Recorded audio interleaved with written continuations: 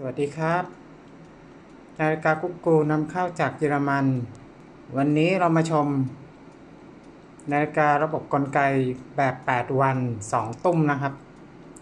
วันนี้จะเป็นรุ่น 877 EX นะครับ จะไม่มีดนตรี เพราะฉะนั้นจะมีแค่ 2 ตุ้ม จะมีการขยับอยู่ 2 ส่วนก็คือ ส่วนของ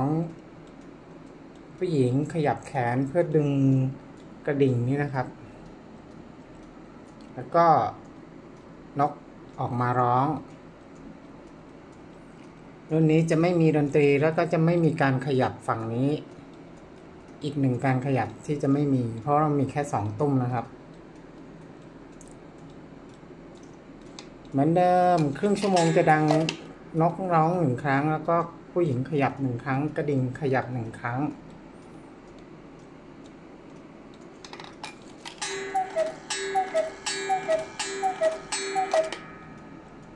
อ่า นี่ห้าโมง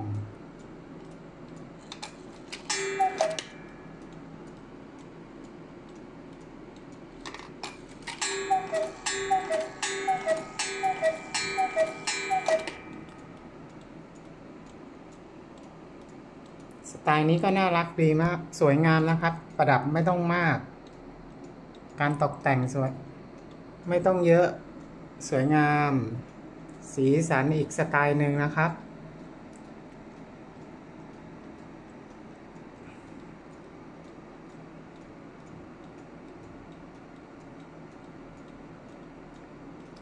เวลาดึงลูกตุ้มก็จะดึงแค่สองตุ้มนะครับ